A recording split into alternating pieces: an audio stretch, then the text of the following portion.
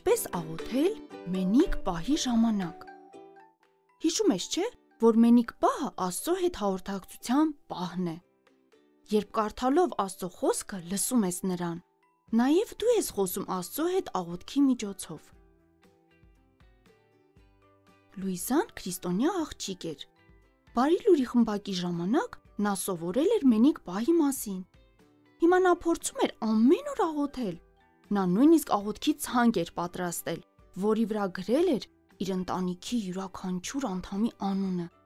Նրա կրտսեր եղբայրը դեռ չէր խնդրել Տեր Հիսուսին, որ դառնա իր փրկիչը, եւ նա աղոթում էր, որ եղբայրն այդ քայլն անի։ Նա իր ծնողների համար նույնպես աղոթում էր, քանի որ նրանք Աստծո զավակ էին, բայց ամենօրյա ուժի կարիք ունեին ապրելու Աստծո համար։ Դու նույնպես կարող ես քո ցանկն ունենալ, թե ինչի մասին կարող ես աղոթել։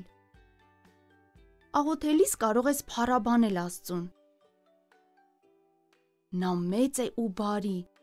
Նա սիրող եւ անկեղծ է իր զավակների հանդեպ։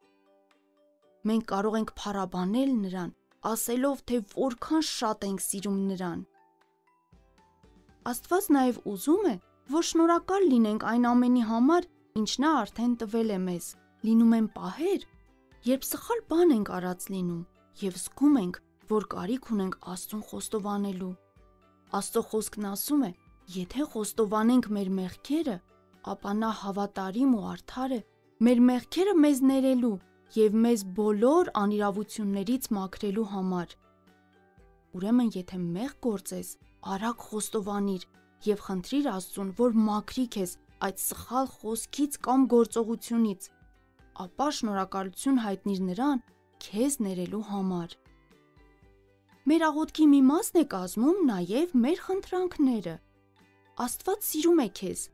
Նա միշտ պատրաստ է լսել եւ պատասխանել քո աղոթքները։ Բայց ուշադիր եղիր, որ քո աղոթքները միայն խնդրանքներ չլինեն, այլ փառաբանիր քո Տեր Աստծուն եւ շնորհակալ եղիր այն ամենի համար, որ անում է քեզ համար։ Ինչ է քեզ անհրաժեշտ մենիկ պահի համար։ Դու արդեն իմացար, թե ինչ է մենիկ պահը։ Երևի արդեն որոշել ես, թե երբ եւ որտեղ ես անելու քո մենիկ պահը։ Մենիկ պահ ունենալու համար քեզ պետք է Աստվածաշունչ կամ նոր կտակարան։ Քեզ հետ ունեցիր նաև տետրակ եւ գրիչ, որ գրես հատուկ մտքերը եւ այն համարները, որոնք ուզում ես անգիր սովորել եւ հիշել։ Աստծո խոսքը սովորելը քեզ կօգնի, որ մեղքին ոչ ասես։ Եթե իսկապես ընդունել ես Տեր Հիսուսին որպես քո փրկչի եւ ուզում ես նրան ճանաչել եւ նրա համար ապրել, ուրեմն խնդրիր Աստծուն, որ օգնի քեզ հավատարիմ լինել մենիկ պահ ունենալու մեջ։